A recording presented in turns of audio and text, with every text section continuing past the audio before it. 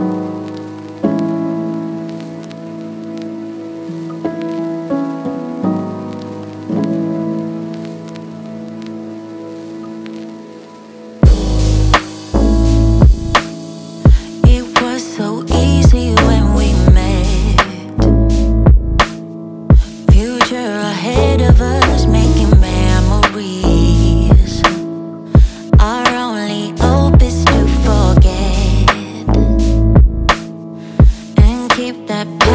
passage